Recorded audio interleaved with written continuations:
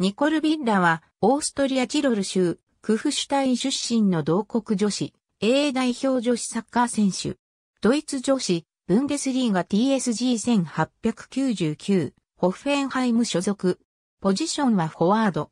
5歳でサッカーを地元クラブで始め、14歳の頃にオーストリア女子ブンデスリーガに所属する FC バッカー、インスブルックに移籍。2011から12年シーズンからトップチームの試合に出場するようになる。2012から13年からはチームの主力に成長し、オーストリア女子ブンデスリーガを代表するフォワードの一人として平均1試合1得点のハイペースで得点を量産した。2013年夏に同じリーグに属する FSK ザンクトペルテン、シュプラッツェルンに移籍。2年連続でオーストリア女子ブンデスリーガ得点王に輝き、オーストリアレディースカップ2連覇とオーストリア女子ブンデスリーガ優勝の立役者になった。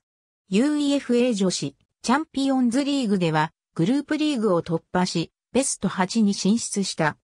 2015年夏にドイツ女子ブンデスリーガに属する TSG1899 ホッフェンハイムに移籍した。TSG1899 ホッフェンハイム移籍してからはセンターフォワードのポジションからウィングにコンバートされている。2011年から U17 及び U19 の女子代表に招集されていたが、国内リーグでの活躍が認められ2013年10月26日には17歳の若さでオーストリア女子 A 代表でデビューを果たした。対戦相手は 2015FIFA 女子ワールドカップに向けての欧州予選で対戦したハンガリー女子 A 代表。以降は A 代表に主力のフォワードとして定着している。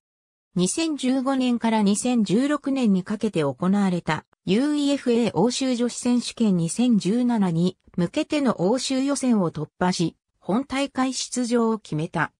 2017年7月16日から8月6日にかけてオランダで開催された UEFA 欧州女子選手権2017では全試合に出場し3位という好結果を残した。幼少からサッカーと並行してキックボクシング代表にも選出されており、2012年までは、ジュニア及びジュニアユースのカテゴリーで、女子キックボクシング世界選手権及び欧州選手権で合計3度の優勝を果たした。